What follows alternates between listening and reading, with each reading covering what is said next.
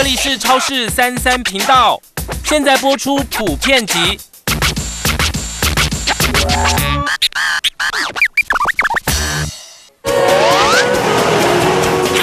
请你跟我这样过。这个饮食的习惯会有遗传吗？怀孕的时候，王老师没有直接的实验，可是成瘾理论里面是有讲，如果上一代对某一个东西有过度的偏好，或者是有上瘾的一个现象，的确会改变下一代的基因蛋白质。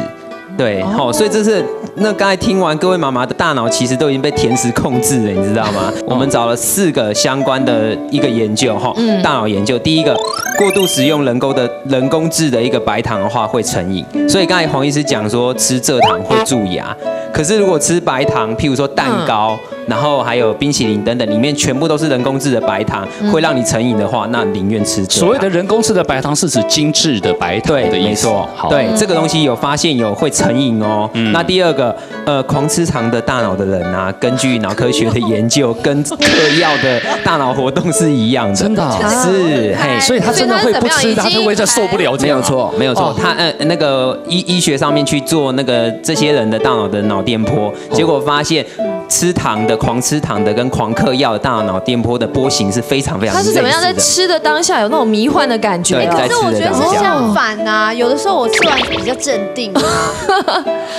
嗑药的人也是这样啊。嗑嗑真的，我跟你讲，嗑药他在没嗑的时候，他有瘾头的时候，他是整个这样六神无主，然后脑袋都空的。因为你吃好就稳定了，一嗑下去之后，哦，就稳很稳定定了，上台一条龙。对不对？所以你现在是不是一条龙？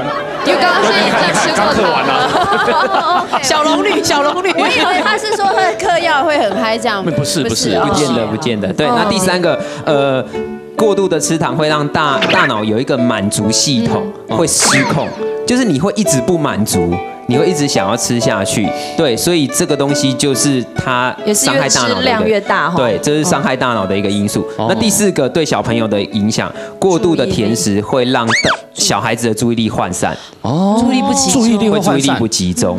所以我那时候就是很担心我的小孩子吃太多那些人工的东西。后来我有一次就是发现说，呃，我好像在看到什么文章，就日本的政府他们在呃规定添加剂上面是很严格，尤其是幼儿食品。是对，然后所以我现在几乎就是给我小孩子吃日本零食，然后我发觉它上面，哎，现在汇率这样很贵。对，现在我我每次去日本，我真的买好几万块的零食回来，台币。好几万，对对对，我我我都还另外打包那个纸箱，然后这样带回来。哦，对，然后因为小孩瘦得回来嘛，因为花那么多钱都心痛了。对，可是因为你看啊，他现在日本，比如说乳化剂啊，乳化剂就是我们之前担心的起云剂，对不对。对对对？它日本的就会写说它是大豆由来，它是天然的。然后，然后呃，比如说 它的明胶啊，它的明胶不是不是，如果是不天然，就是我们在现在吃塑胶袋吗哦？它就会写说是猪皮萃取啊。听起来天然一点。对啊，所以你觉得好像好你。下次刻意在彰显你的选择是对的，我。觉得他那个是他那个汉字翻译出问题，就是每个人对这个定义是不同的。有可能哦。可是专家眼睛都瞪得好大哦。对，真的，对不对？黄医师帮你证明一下啦，黄医师。没有啊，重点是糖啊！你旁边是大豆还是猪皮，我不重要，重点是那个糖啊。对吧？让我先看一下，砂糖、玉米糖浆、葡萄糖，所以重点错了嘛？对不对？对啊，我今天就带了一本书跟大家介绍一下。哎呦这本书呢叫《奶茶好好喝》哈。哦，那这本书呢，就就是一个很好的生命教育，就是跟他讲说呢，这个故事呢是跟一个公主有关系哈哦。这公主很爱喝奶茶，所以她每天就一直喝，一直喝，一直喝哈，各式各样的奶茶。对不过这个公主喝奶茶呢有一个不好的习惯，她加很多的糖，哦所以呢她觉得每一根茶喝起来都很好喝，因为都甜甜的好。结果呢她就越喝越多，越喝越多，哦就变这个样子越啦，对不对好哈？然后医生呢就看到她躺在床上，就跟她说不行了，你这样子你的身体会不好，所以你要开始节食，而且你以后的茶都不可以加糖。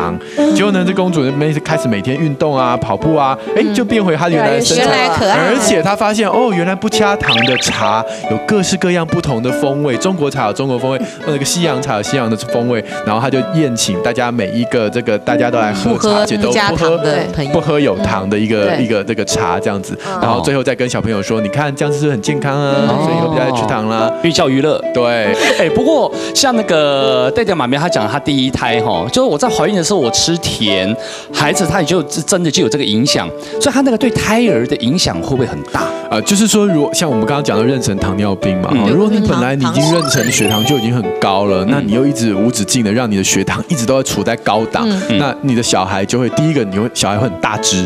会巨婴嘛，哈，就是很大生出来头就出不来，卡住之类的哈。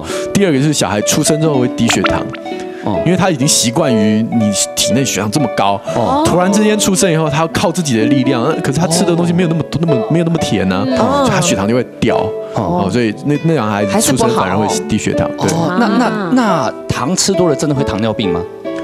这个不是一天之内的事情了，这累积是有可能是累积，对，是有可能的，对。哦。当然你还要有那个基因那个体质。你爱吃辣吗？